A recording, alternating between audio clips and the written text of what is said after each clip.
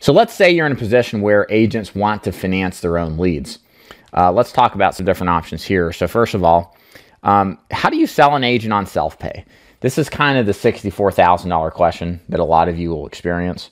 What I have found is that agents who have a background in entrepreneurship are more open-minded, open-minded to the concept of, of paying for their own way. Again, if you are an entrepreneur or formerly an entrepreneur, it's likely that you had to buy advertising in order to promote your business, to get the traffic in, and to eventually convert it. So if you got an agent that has that experience, you're going to want to try to hire that particular type of guy because they're going to be the ones that are going to be more open-minded to self-paying. Again, keep in mind how much of the population are actually entrepreneurs, 5% or less. There's a lot of people say they're entrepreneurs, but the truth is is that they can't manage their money well. So if you're looking for these kind of agents, try to find people with indications of already proving that they have experience uh, paying their way in order to make a living. Again, salespeople, entrepreneurs, independent contractors all would fit the bill.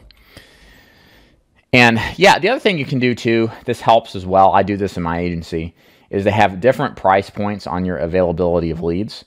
Um, I've played around with this over time. I've arrived at pretty much three different options.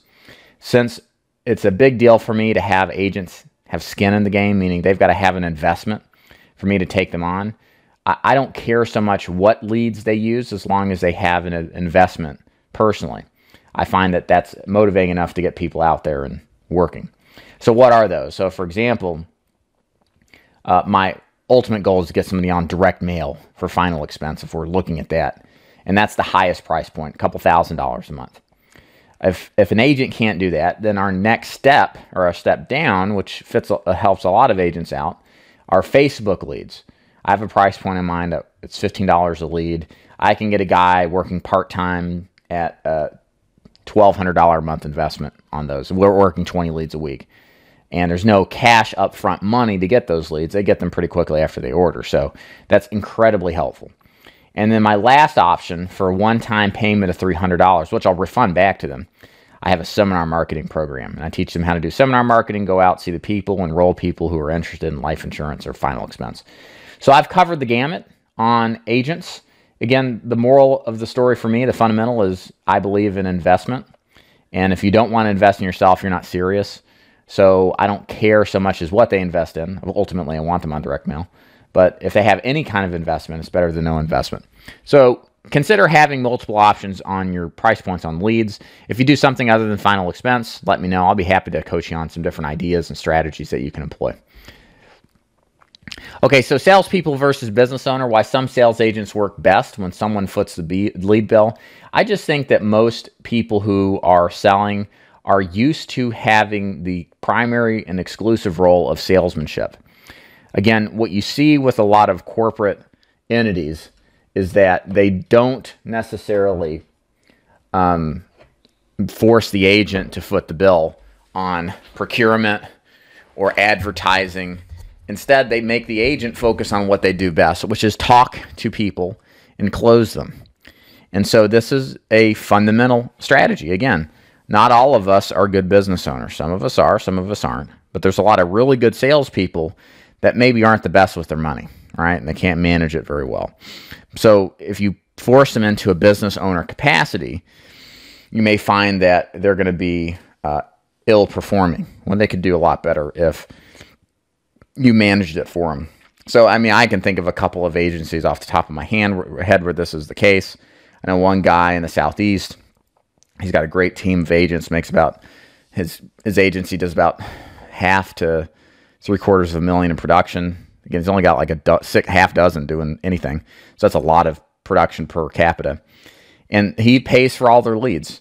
He doesn't like it, but the truth is is that he's given these guys the option to move up to the ability to sell and control their leads and then even get a higher commission, but they won't take it because they're comfortable with the idea of working just enough to make the money they need in order to hit their quota so that the uh, agency owner is making a profit and is covering his costs. So it's there's a lot of agents that just won't do well having to handle the money because it's not just handling the money, it's also handling the uh, where the lead's going to show up, what area of the country or the state are they going to be in, what type of leads should I buy. There's a lot more responsibility and decision making that, again, the more options some people have, just the worse they perform.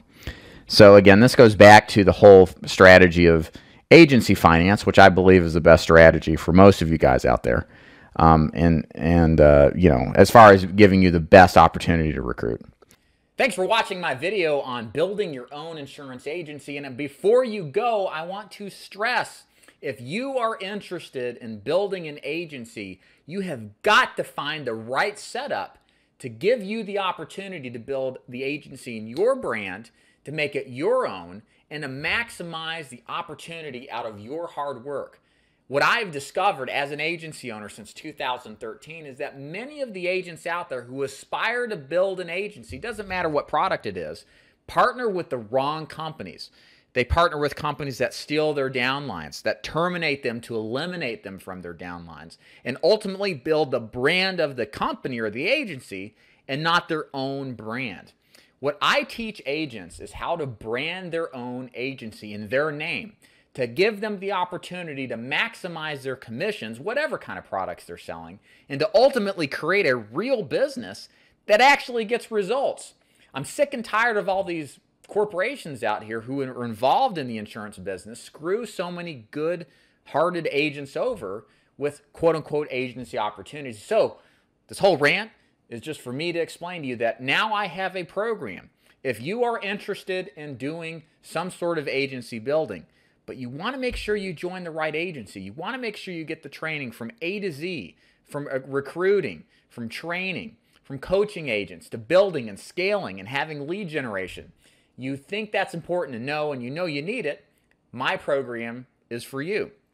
So if you want to learn more about how I help agents become successful and independent agency owners, here's what you need to do. Go to davidduford.com click join Dave's agency and you'll see a little link in the bottom that says something about uh, uh, check out my agency program. And there you'll find all sorts of information that will describe how it works and give you an idea of uh, the details and to determine if it's right for you. So check that out if this is something you're serious about doing. And you guys have a good day and thanks for watching. See ya.